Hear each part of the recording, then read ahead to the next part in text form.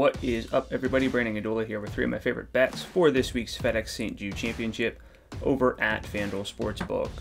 I like Scottie Scheffler this week. Uh, Scheffler has not won since the Masters, but uh, let's not pretend like that matters. Uh, since April, um, he was winning at, at, such a high rate that uh, that wasn't going to last, but um, he sets up really well for this week.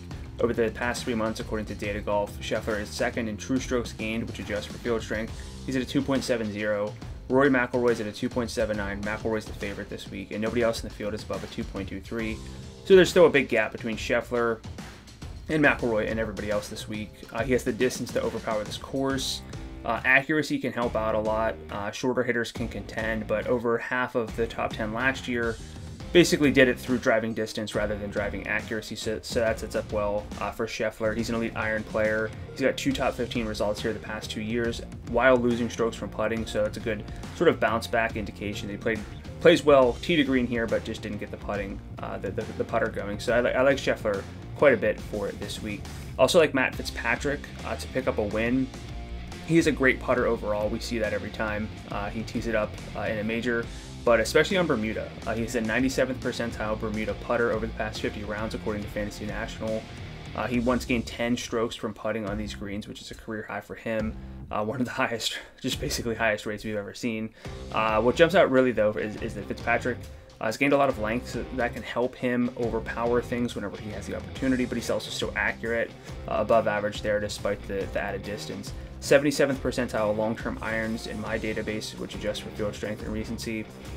He's at a uh, 2.23 true strokes gained over the past three months, so he's tied for third in the field behind only Scheffler and McIlroy. You put that all together, and Fitzpatrick's a great option uh, to back this week in a loaded field. Uh, finishing up, I like Billy Horschel uh, this week. We can see you know shorter, more accurate hitters contend at TPC Southwind if the rest of the game is there. Abraham Ancer won last year. Harris English, Daniel Berger, Ian Poulter, all top 10. Those are more accurate hitters than they are long.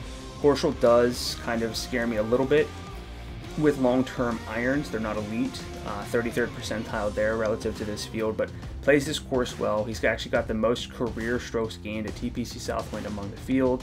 He's a 93rd percentile Bermuda putter. He's also got 93rd percentile expected putting splits, which, uh, you know, based on his distance, he's putting really well. It's not like he's getting, uh, you know, making some lag putts, getting a little bit lucky there. He's a great putter overall, and he is 18th in the FedEx Cup standings. I know we're probably gonna maybe give a little bit more credence to golfers outside the top 70 who need to, to get some points to get into the top 70 to play next week. But Horschel should be very motivated. All these guys should be motivated. A lot of money on the line, and uh, he, you know, Billy Horschel loves the PGA Tour. He would love probably nothing more at this point to get a second FedEx Cup championship uh, under his belt. So that'll do it for my favorite bets for the FedEx St. Jude Championship. Best of luck this week. Let's hit a winner.